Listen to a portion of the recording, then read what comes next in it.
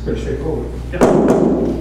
Okay, the board meeting of the Valley, the Siuslaw Valley Fire and Rescue Board of Directors is called to order at six P M. The uh, first item on the agenda is uh, pledge of allegiance, please join me. Pledge of allegiance to the flag of the United States of America and to the republic for which it stands, one nation, under God, indivisible, liberty and justice for all. Thank you. Julie, would you please call the roll? Director Scott, Present. Director Carnahan, Present. Director Woodbury, Here. and Director Phillips and Director Gates are out. Absent. Okay. We all had a chance to read the minutes of the May 17th meeting. Make a motion that we accept those. I'll second that. Motion and a second. Any further discussion? Being none, the minutes are approved. Public comment. Uh, We have one signed up in public comment. Would you like to proceed, ma'am? I will, thank you. Hi, everyone. My name is Jane Hudson, and I live in Mapleton on East Mapleton Road. On March 31st, an old structure across the driveway from me, probably 90, maybe 100 feet away. I'd been told last year that it was going to be burned. Other than that, I told the contractor, Gary Rose from Leisure Excavating, when he came the first time, that I had asthma. If he was going to burn it, he would need to put me up somewhere. And I know he heard, because right off he says, well, don't you have someplace you can go? Well, anyway, about 5:30 one evening, I uh, get in the shower before 6 o'clock. I get out, I've got a splitting headache. I look out the window, and the fire department has shown up, Mapleton Fire Department, and set that whole structure on fire. So I don't even have time to get clothes, I don't have time to dry my hair or anything else. And what made it so bad was I had told somebody from the fire department that came up there. They drove up, parked in the street with a fire truck and walked up the hill.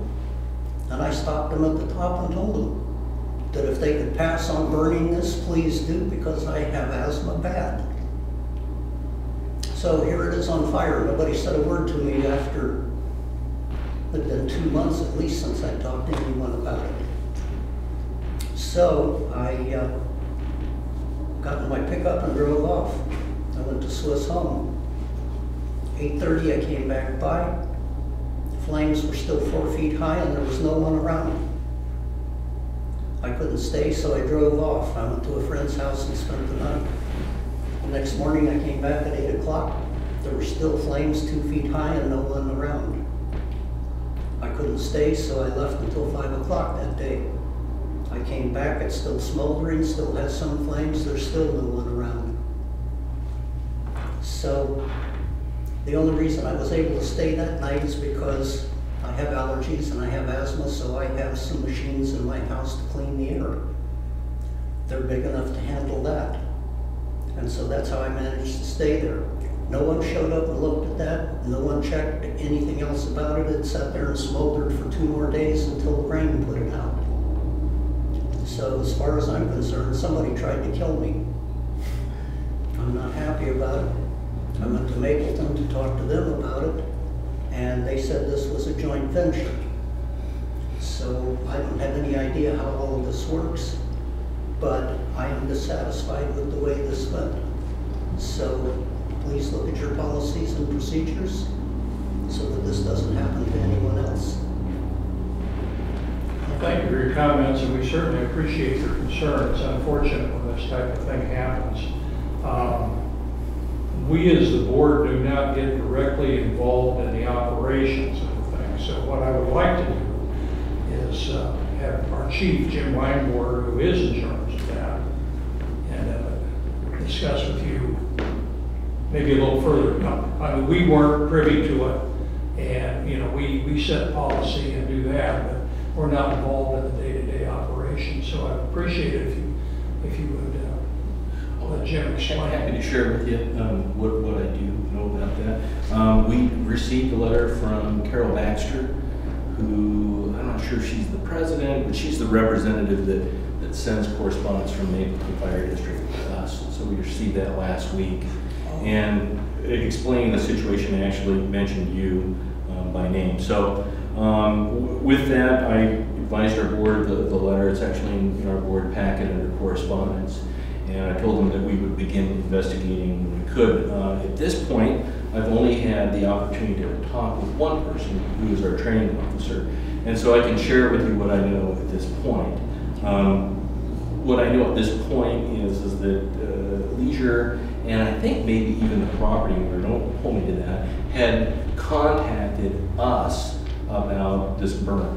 Um, Because this burn was not in our jurisdiction, we referred them to the Mapleton Fire District. And so they, from there, um, they went ahead and they made the plans and the arrangements. Now, we were invited uh, to participate in the burn, and we sent an engine company, and that's not uncommon in training burns where you will invite neighboring districts, hey, would you like to send an engine company, and they can participate in, in the procedure. So that's exactly uh, what we did. Um, in, in speaking with Jeff, um, he, as far as he know, he did not have any contact with anybody in regards to uh, anyone coming up to him making a complaint, i.e. uh, yourself. So I do not know who who you interacted with on that. Um, typically, you know, we rely on the other district there. They supply the incident commander, they produce the burn plan, and um, we show up. And then, then we burn it, we're, we're sort of a resource for them, I guess, is the best way to put it. So I don't know, I can tell you that what we do as a fire district is we, uh, part of our planning process um, is to get permits, uh, we go through a checklist, and one of the things on that checklist is to get in touch with surrounding neighbors ahead of time to notify them that at this date, and this time, you're going to have a burn. And then if there's an issue, then, then we're aware of it. And I can also tell you that, um, personal experience, in my career, I've had three training burns that we've stopped because there were issues with either wind blowing it or a neighbor complaining or something like that. So I, I can't speak for, um, Mapleton, um, but I can tell you that's, that's what I know at this point. We'll be following up with a few other people and then, um, I'll share what I know at that time, and I'm happy to get you a copy of that. If you'd like to leave your, your contact information. I did, it's on the uh, sign-in sheet there. So I would appreciate it, thank You you. bet. And thanks to everyone for the concern you showed us rest the time. It's definitely appreciated. Thank you for taking the time to meet with us. Okay, the next item on the uh, agenda is the public hearing for the 2017-18 fiscal year budget. So we have a uh, open hearing. Is there anyone who wishes to make comments on the budget?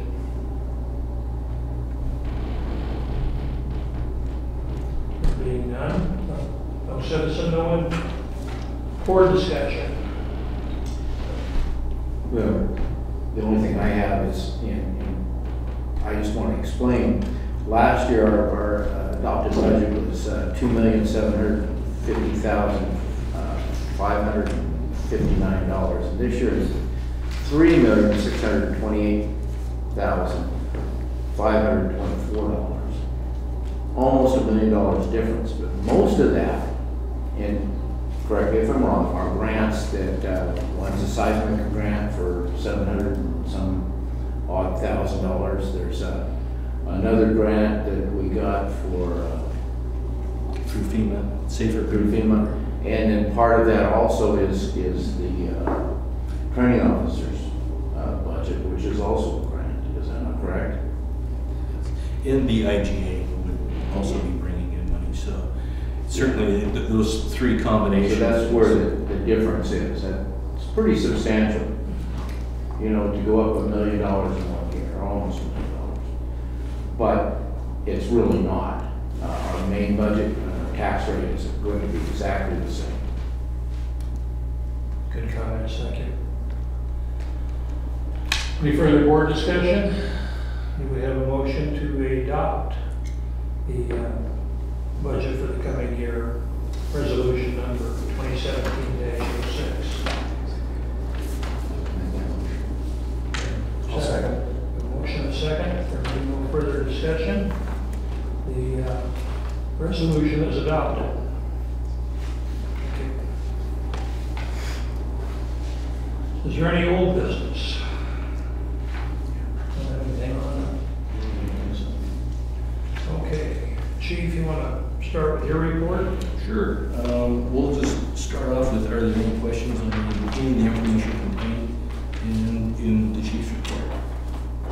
Nope, then I'll just hit highlights. Um, The, the big thing at our IGA update is, as we discussed last month, I directed, um, I've worked on getting that group of people together at the Administrative Advisory Committee to come up with a financial measurement. Um, At this time, I have um, uh, Chris Marr, our auditor, Larry Farnsworth, who is, will be um, at that, well, I don't know technically if he'll be board member because he's not sworn in yet or not, but it's it- close enough. Uh, Board member of the ambulance district, uh, Director Woodbury has agreed to help out. Uh, Terry Knight from Lane Fire Authority, who, um, by the way, has a lot of experience, recent experience with IGAs. They've recently just formed a fire authority, but that started through administrative IGA. So I thought he would have some interesting input or guidance for us from a fire district perspective. Andy Parks, the um, interim CFO for the city of Florence, Dee Osborne uh, from Banner Bank, and I was also fortunate enough to get someone from the OFGA, the Oregon Finance um, Government Association officer, and his, name is Ron, believe it's Ron Harkin. He is the CFO from the city of Roseburg, and um, explained to them what we're trying to do, and he's actually, he's kind of excited to do it. Uh, Any questions on that? So, and uh, Director Carnahan, I'm sure you saw in your email, I sent you a thing that proposed, I don't really have any other budget items at that time, or, or not budget items, but agenda items, so just making sure you're aware of that. Strategic plan update, really um, just continue to chip away. The big thing is, is that uh, we're working on when the new board members come on board to um, conduct that, that work session uh, where we can update and uh, move forward. So we're anticipating it's probably going to happen in the August time period. Uh, We log exercise, uh, June 8th, we had a WeLog exercise that involved us, the United States Coast Guard, the the hospital, the ambulance district, um, and I think uh, Lane County Emergency Management and their, their search and rescue folks. And it was centered on a hazardous material slash meth lab explosion. And um, it went on for a few hours. It was a, it was a good drill. Um, appreciate the coverage by the newspaper. And uh, most importantly, what it allowed us to do was exercise our emergency plans um, throughout an event. So all the way from the first company that arrived to the time that the hospital or the patients are receiving treatment in hospitals and making sure that they mesh together and going through their decontamination uh, procedures. Not everything was done perfectly, as you imagine, but that's the point of uh, these drills so that we make sure that we learn what we need to learn before the actual situation happens. Uh, Part-time uh, administrative assistant, Julie will be uh, addressing this as well, but we have brought her on. Her name is Holly McGuffey. She's also a volunteer with our organization, and she's, uh, every uh, report I've gotten so far, she's doing a great job. Seismic grant, I met with um, the engineering firm HGE that uh, got the grants with us on last week, last Friday, to begin the preliminary planning process of this. Um, So at this point, um, in the contract that we signed with them, basically what that said at the time is that if we were awarded the grant, then they would take it from there and that they would uh, be in charge of getting the contractor and doing a lot of that work so that we do not have to do that, go through the, the bidding process that normally a government agency would have to do. Would be under, under their, they will follow all required laws and everything, but they get to take care of instead of us, which is very nice. Um, the, the big thing that I, I wanted to throw out to you was that I gave you some misinformation. Um, I thought that it was actually, it would be five years to completion, but it's actually September 30th, 2018. And so when I read through the grant information, like, wow, that's going to be pretty tight. So that was certainly one of the things that I discussed with him and said, hey, you know, it looks like this could be kind of a challenge, so let's make sure that we get all these done. He does not seem to think that's a problem, but I think that also worked very well for us um, working that agreement with him to, to manage a number of these things. The other thing I want to pass along and that um, I wanted to make sure that he was aware of this is that as they choose a contractor and as they choose subcontractors, we feel that it's very important as a fire district that if we can keep some of this work locally, that we do that. And one of his recommendations is that we, um, that we host, I can't remember exactly what he called it, but like an announcement of the work, we'll, we'll host it here at the fire station and the contractor and himself will be able to be there to make sure that local um, tradesmen are aware of this so that they can bid for the jobs and, and hopefully get the work. Uh, any questions on that? And, and we'll do everything we can to make sure that we're getting that information out on our social media as well as in the newspaper. So we, we do think that that's important. Um, Safer Grant, uh, the, the biggest update right now is this Saturday, they'll be finishing the Upriver Academy.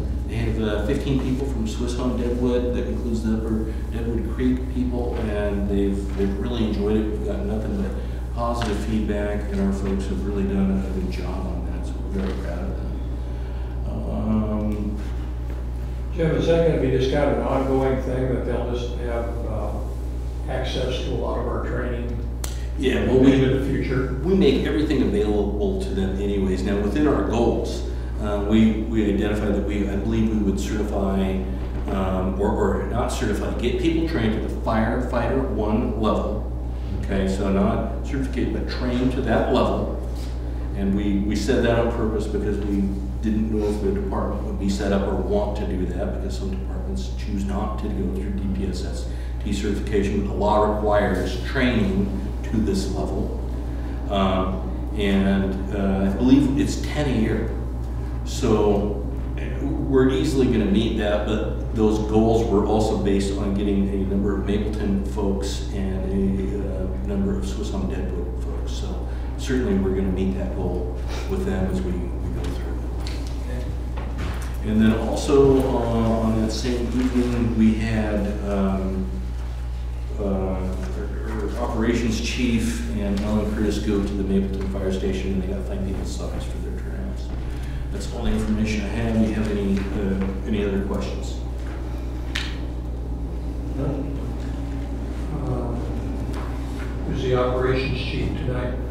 I, I I think he's in San Diego. I think last week he was in Kodiak or something like that. So he's, and uh, what, what Director Scott's referring to is he's um, doing, fulfilling his two-week commitment, um, reserve commitment to the United States Coast Guard. And what he's actually doing is he is out going to different air stations and instructing them in firefighting techniques. So that's, uh, that's why he's going to these different locations. Well, we have his written report, so I guess, uh, anybody have any questions about any of this that the chief can answer? No, I just, uh, want to make a comment, there were forty-one calls in May, and twenty-two of them medical. I just, that's some information, that's not uncommon. Um,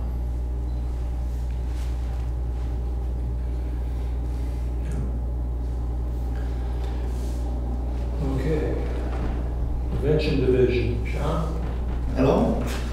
I made it in time. Made it. We have the report in front of you. Some of the big things is, uh, we met with the city and developer for a subdivision up on Jake Man Hill, extending that subdivision out, working on access for that. Um, Worked on a filming for a countywide program for kids at school, fire prevention, fire busters, what it's called, and the rest of it's just normal work. Uh, We've got 10 new fire hydrants that are in service, I haven't flow tested them yet, but with the new project on uh, Rhodey and on 8th Street there, two hydrants right there, we have two new hydrants in the system, and a 16-inch water line, so that's gonna be really nice.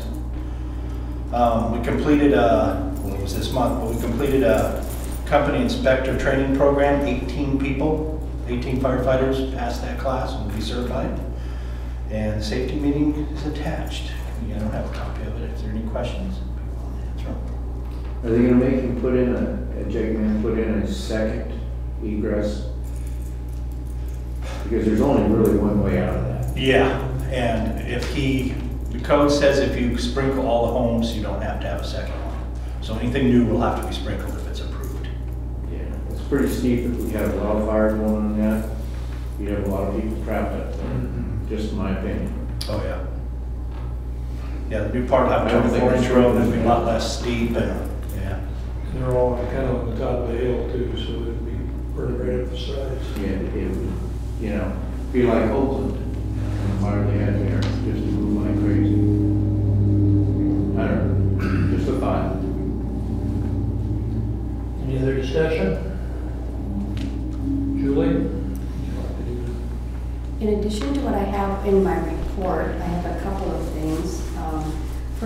All, Chief already mentioned that we hired Holly, one of our volunteers, and she started, I think about three weeks ago. She's doing a fantastic job. The whole admin team, as a matter of fact, is stepping up and um, doing a great job. I just, I just can't say enough good things about all of them, Marion, Karen, and Holly, so that's awesome. And I'd like to apologize, we haven't had any policies for your review for the past couple of months, as you've noticed, but you should see that come back within a couple of months. We'll start providing them for you again and get that process moving.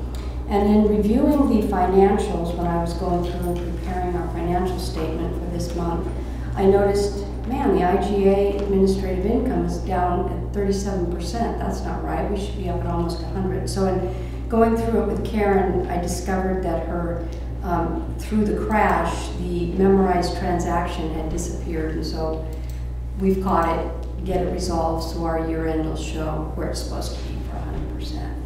You'll see that for the June financial statement. Do you guys have any other questions from my report?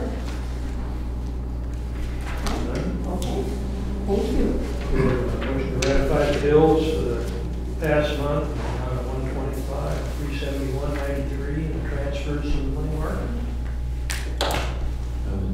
Make that motion. I'll second. A motion and a second to approve the payment of the bills and transfers. All those in favor signify by saying aye.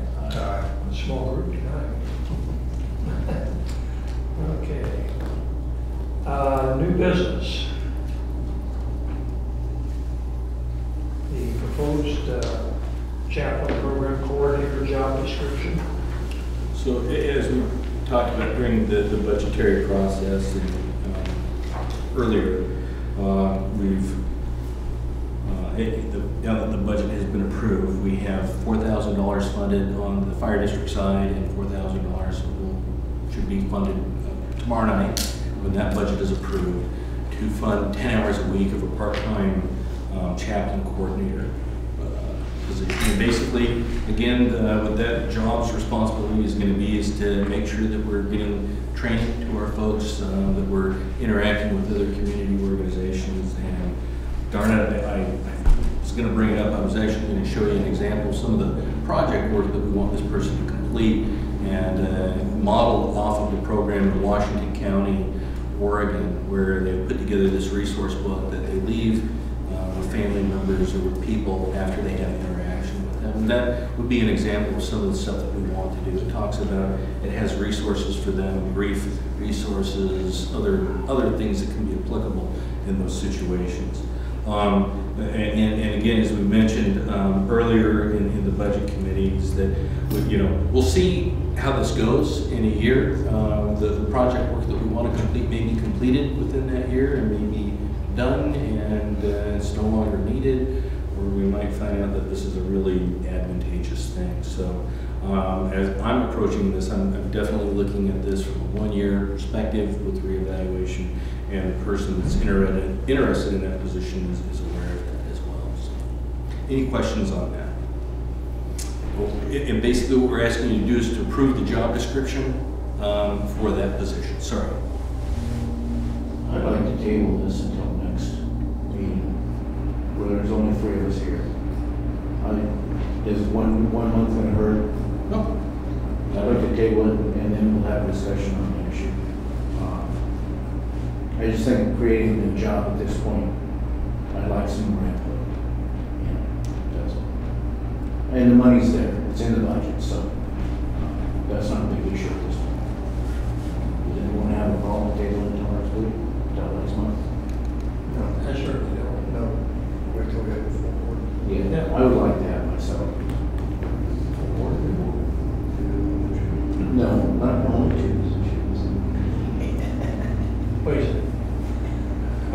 um, second, item, we've got another item here that is, kind of came up, and it's, uh, we just neglected to put it on, and that is the renewal of the, uh, I guess, Jim's participation, the chief's participation with the IGA, and we have to have an agreement that we approve having him serve um, as the director of the IGA, I guess is the Correct, correct. reference that. I can And it's an annual thing, we have to approve it on an annual basis.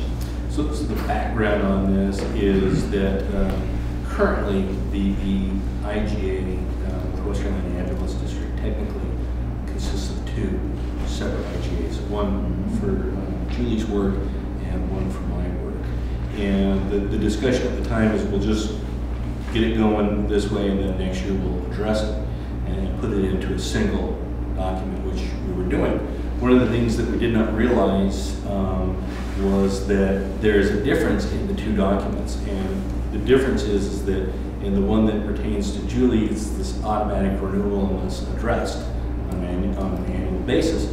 But the, the one that addresses the, the chief director position requires a, a signature to be carried forward. Um, So with that being said, uh, one of the things that we did is I went ahead and just reviewed this contract to make sure that my memory served me correctly. Within that, and I was going to provide you with the correct information, which is is that within that contract, it says that there's a 90-day time period between the contract ending, which will be June 30th, and um, from that date backwards, that either organization needs to bring forward that they're not planning to renew. So with that in mind, um, I, I am not aware of that unless you're aware of that, and I've spoken with the um, ambulance district board presidents where he has not received any information as far as I know, it hasn't been discussed any meetings. That being said, um, going under the pretense that um, we're planning on moving forward with this, and just to make sure that we're staying within the confines of this contract, technically requires a signature to move on into the next year. Now, um, we're still working with legal counsel to combine the two, but we don't see that final combination done until uh, about a month or two from now.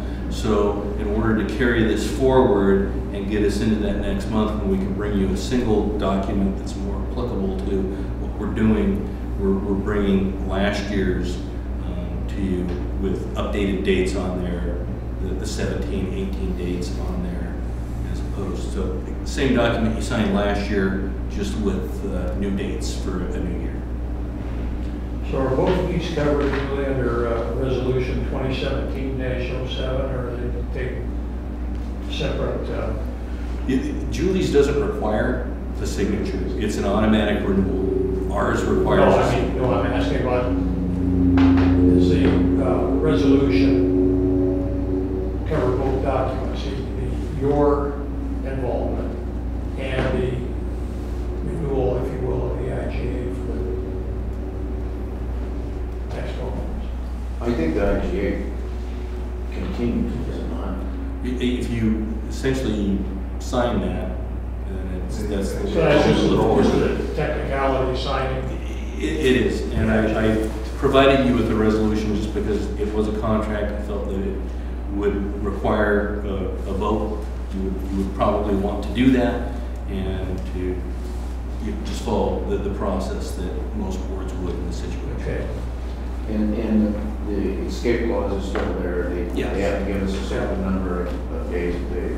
Yeah, It's, notice it's they don't want the it. same thing, right? There's an arbitration, um, clause in there and then there- there, there's all that stuff. So, same document. Okay, do we have a motion to approve resolution 2017-07? uh, Whereas the district in conjunction with Western Lane Ambulance District wants to renew the intergovernmental agreement to share the services of Siuslaw Valley Fire and Rescue Fire Chief, also known as the Chief Director. I'll move that we uh, extend the intergovernment agency uh, with Western Lane Ambulance and uh, approve the directorship executive director. Do you have a Second? No, second, it's for one year. Okay. Motion carried, Your resolution is approved. John, excuse me, um, I think we should do a roll call on that. Is that okay? Yeah, sure. Director Carnan, Yes. Director Scott, Yes. Director Woodbury. Yes. Thank you. It'd be nice if the rest were here as well, but they're not. Okay. Next item is a special presentation. Yes. Um, We're hoping that uh, Director Gates would be here, but as we know, she's. I think she has some plausible surgery. excuse. Double B job. We, we have two outgoing board members, and on, on behalf of the board, the fire district the firefighters, and uh, the administrative staff, we wanted to present uh, Director Scott Johns with this little memento, of our appreciation, and and basically, yeah, no, Well, you know, before you hand me that thing. what it says on there is it says that on on behalf of the fire district, we want to thank you, um, not only for the hard work and the dedication you've um, given to the fire district, but you've also um, given to the community. Should we try, do we do a quick handshake and that'd be? Come on, chief. Get the other directors in there too. Yeah, everybody's No, good. come on. He's, he's the one that gets his, uh, Let's get into his this. show, so. There we You go. guys get in here. Get this right in my Oh, iPhone. no worries, we got the spreadsheet. Let's make it Okay, get in here. That's perfect. You don't have that wide of angle in there. No, it's no problem. We're well equipped. Stretch my iPhone. Thanks a lot. Thank you. So John, thank you, and good job, well done. Thank you, it's been fun. Been a great experience, enjoyed it. Yes, Sir. Wish Lori was here. She had more time than I did. Okay, you better come next time. Move. Okay. Anybody, uh, had time to go through the correspondence? See, we got our two pumpers, two uh, engines paid off. Copy from Michelle. Any questions? Being none? I have one question on correspondence. Uh, This two hundred and fifty dollars to Peace Health uh, Medical Foundation, was that from the, the, the association? It was actually it was a donation combination between the ambulance district and, and us, and it was uh, just to fund their, their foundations. They're always looking for money. Yeah. I, I, I will tell you though, this is the same foundation that is um, probably gonna throw close to hundred ninety thousand dollars towards the community paramedic programs. Mhm. We want to support their a fair efforts. deal. Well, They do a lot. Okay. Uh, Future agenda. Are there any items anyone would like on the next month's agenda? I think we've already spoke to one of them.